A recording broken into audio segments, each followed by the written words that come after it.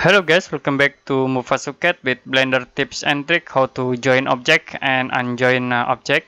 Okay, first uh, open your Blender software.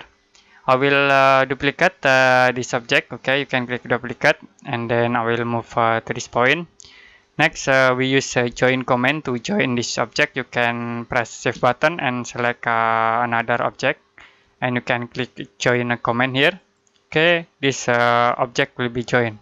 Okay, next uh, to unjoin uh, this object, you can uh, go to the edit mode. You can click here edit mode. Next, press uh, P button on the keyboard.